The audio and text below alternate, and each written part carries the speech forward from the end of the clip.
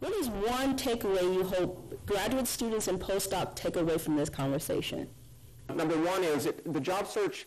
Um, I tell the doctoral students at, at Baylor this all the time. Uh, the truth about the job search is that it sucks until it doesn't.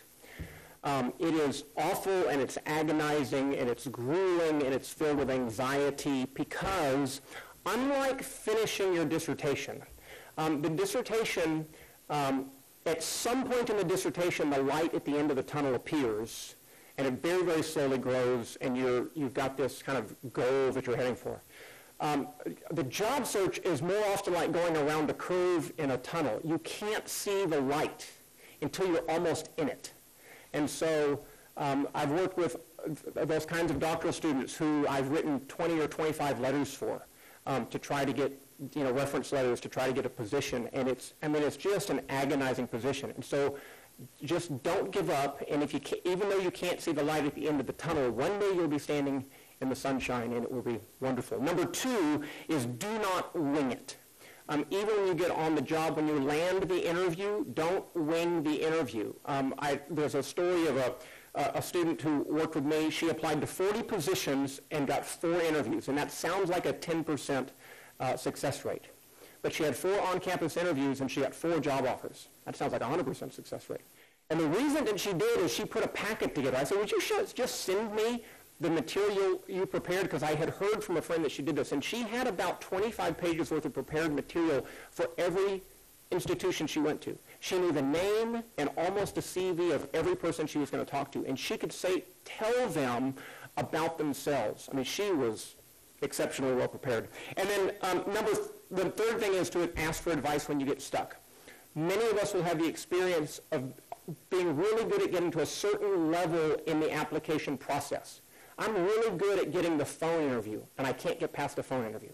Well, then go ask for advice from somebody. What must I be doing? And talk to them about that stage. Or, you know, I've written 50 applications, and I'm not getting any interviews at all. Okay, there may be something wrong with your written material, and you know, so you got to hire somebody to look at your material and see if they can uh, get it fixed.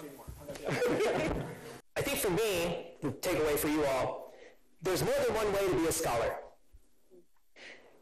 A lot of times we get concerned about reputation or like, am I supposed to do this or am I supposed to do that?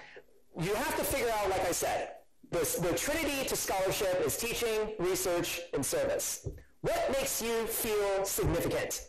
what balance do you want? Are you really heavy on the teaching side and you just love that? And do you like working with a diverse group of students, like people who are 18 all the way to the age of 80, you know, and you like that, then you might like community college. But don't feel like there's only one right way to be a scholar, or like one is better than the other, like objectively. It's more just what makes you shine. And just know the difference between happiness versus satisfaction and success versus significance and decide what's important to you and how those can work together, but also how those can work against each other. And also think of yourself as a scholar, but don't also forget to think of yourself as a human being. One of the things that I've noticed has been a trend over the last few years at OSU is that we hire people that we already knew.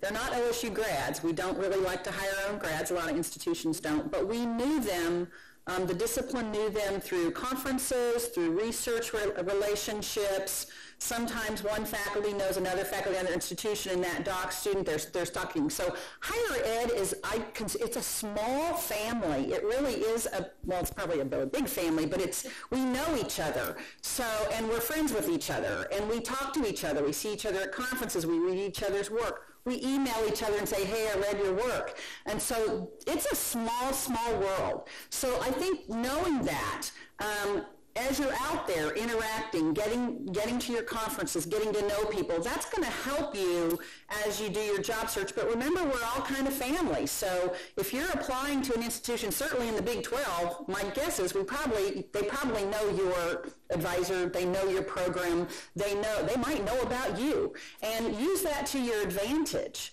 Um, if you're going outside the Big 12, we still probably know you because we're reading in our field. So remember that, and as I kind of tell people, re- make sure that the stories we're hearing about you are really good ones um, because sometimes those letters and things are all great, but honestly, I've already talked to your advisor, I've known about you for a while, and I want you. That happens a lot in our fields, particularly in fields where we're looking to f- fill a particular area of expertise or a, a research um, agenda. So just remember you're part of a really big family. Use that to your advantage, um, and I think you'll, you'll do very well.